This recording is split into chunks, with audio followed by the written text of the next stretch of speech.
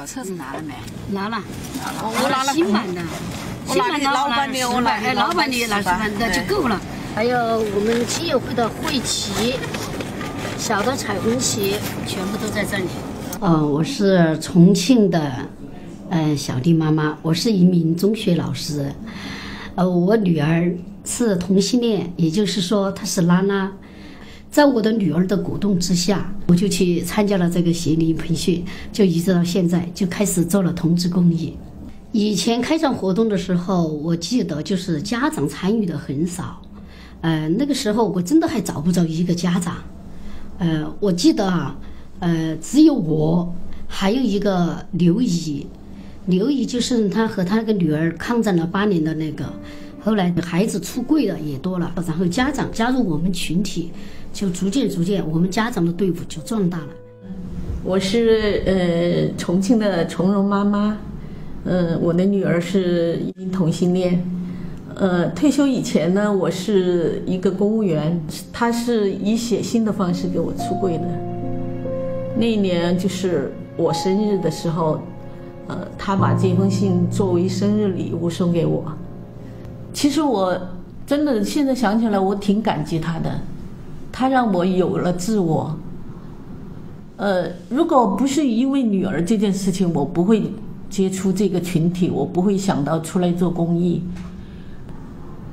比如说要发言呐，要写一些文章啊，然后就每一次，比如说人家来邀请你做这件事情的时候，哎，我觉得这件事情也不错，我觉得嗯，这是一个很好的事情。我觉得做这件事情很对，然后我就去做。我进群的时候，好像像我这样给妈，好像只有我一个，都是他们都是拉拉妈妈的多。当时好像对这个术语还不太清楚吧？他也问过我，呃，你是儿子或者是女儿？我就简单的告诉了，然后我就不停的很好奇的就问他们了很多很多很多。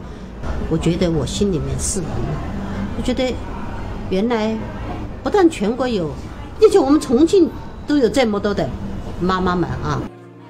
我是二零一一三年八月份就进入了亲友会，特别是一次协理员的那个热线培训吧，通过热线的接听以后，就来得很直观了，就可以心与心的交流，就可以听到彼此的心声。那个时候，真的对我触动很大。嗯，我就想到，可能有更多的家长、更多的家庭、更多的孩子更需要我们的帮助。我觉得，要天下更多的同志孩子、更多的家庭活得幸福，才是真正的幸福。今天我们同志，还有我们的家长一起，我们大家在一起做一次分享吧。你们在这里可以讲出你们的故事。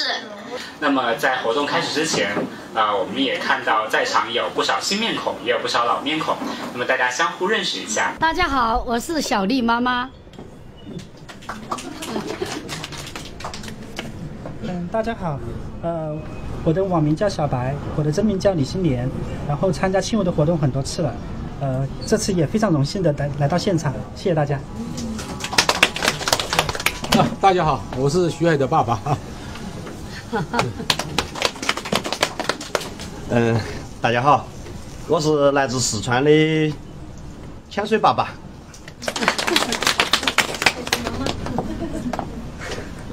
大家好，我是来自四川的潜水妈妈，谢谢大家。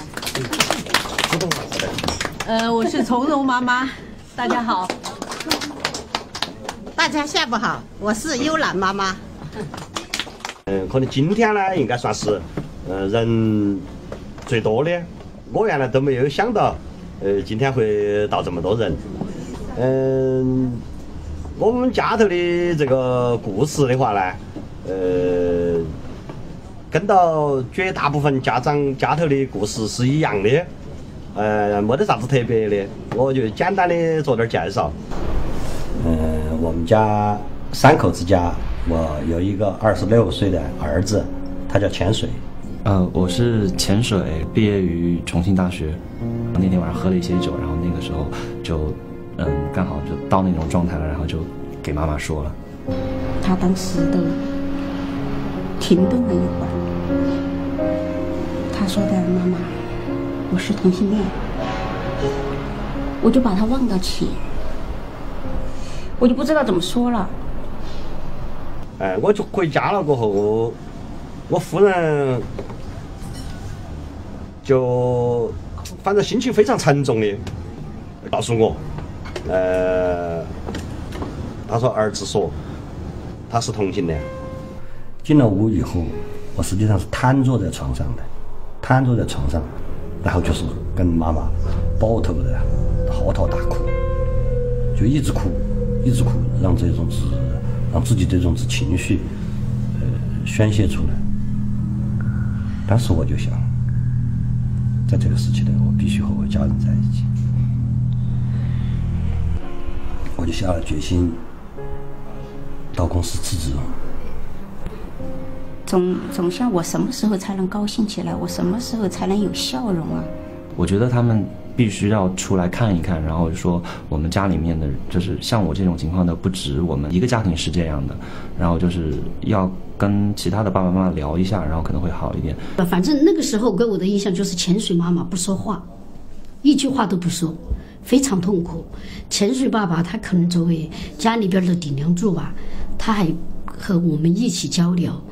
呃，我感觉这个爸爸，他确实就是很希望就是得到这方面的帮助，因为很多家长在孩子跟他出柜以后，他会就回避这个问题，他会逃避，他不相信，或者是根根本就不谈这个事情。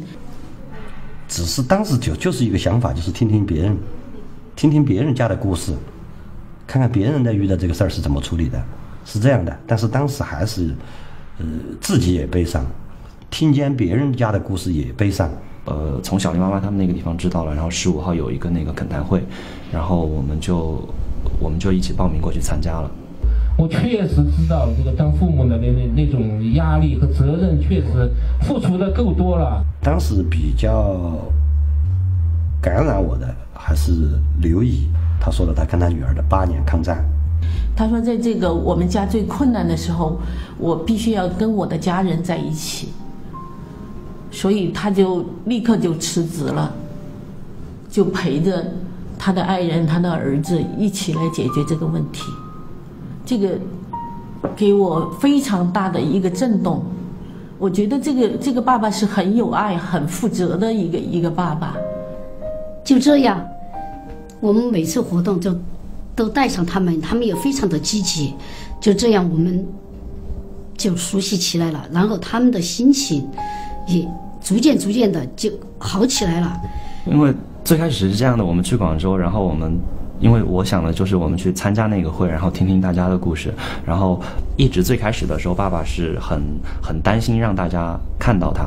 一家三口都来了是吧？哎，对对对。呃，站起来认识一下，一家三口，儿子和妈妈在哪？哦，在这。儿子挺激动的啊！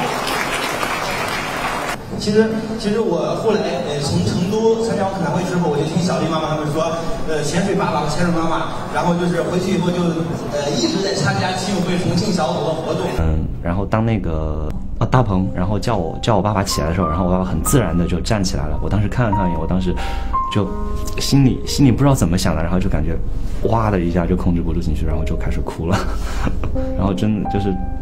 被爸爸的那种就是行为感动了。我跟崇荣妈妈也说过，如果是说像我们这样子的家长能站出来，能把自己的故事讲出来，能对其他的一些家庭、对其他一些孩子有所帮助的话，我觉得这是也是一件功德的事。呃，其实是心疼孩子，心疼。哎，对对对，是这样。如果说我作为父母能够接受孩子的话，那你往社会其他方面来接受，那是不可能的。闹闹非常激动是吧？有点儿，有点激动的哭了。当他们在广州那个恳谈会上发言以后，就是潜水表达自己对。父亲、母亲的那种感激，然后他妈妈就站起来拥抱他，然后他爸爸从后面再拥抱他们俩，真的当时那个场面，确实让我非常感动。我觉得他们一家人，你能，就是你能感觉到他们成员之间是有爱的，他们有那种爱的表达，有那种感情的流动，这是非常好的。呃，根据我的经验，就是我帮助过的这些家庭，只要是父母真正的爱孩子，那肯定出柜是比较容易的。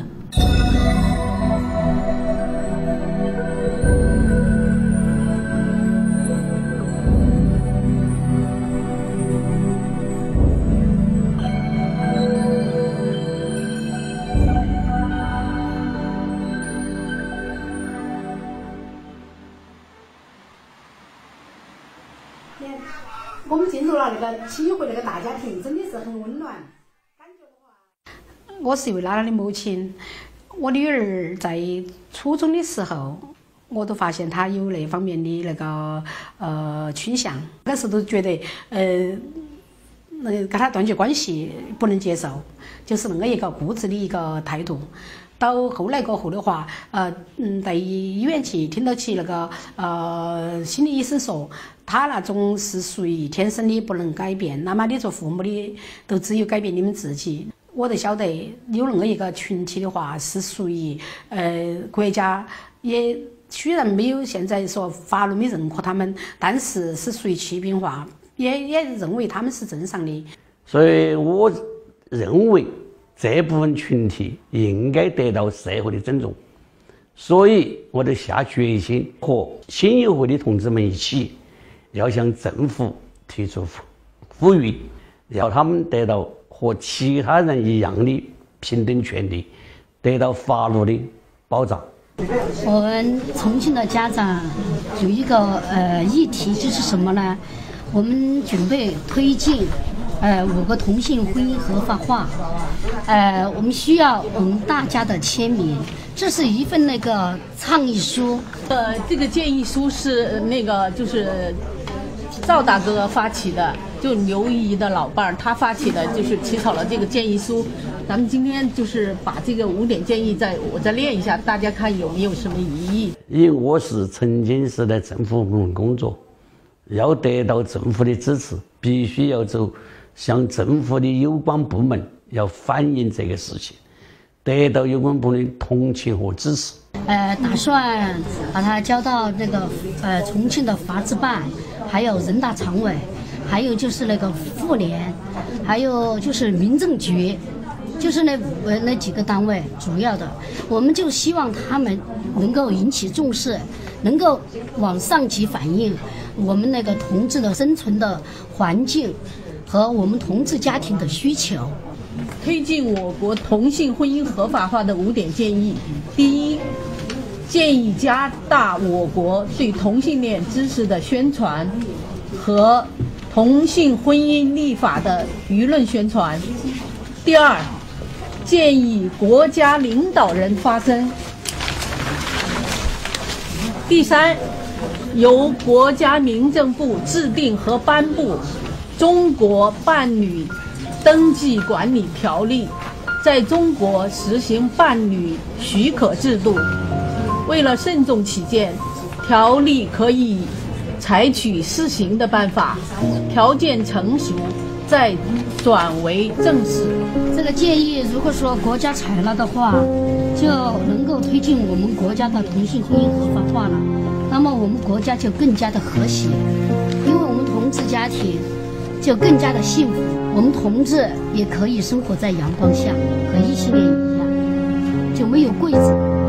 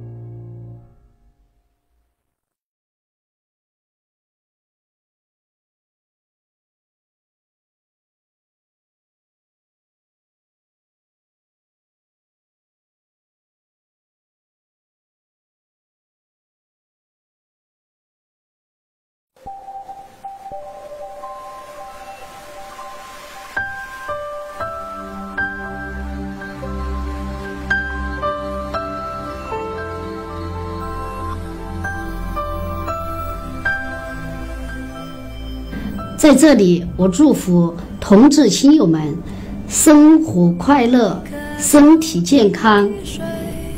呃，我祝愿我们所有的同性恋孩子在二零一六年都找到自己的伴侣。我也希望我的女儿早点带一个漂亮的女孩子早点回家。非常感谢亲友会，亲友会是逆流而上的船帆，引领我们走向理想的彼岸。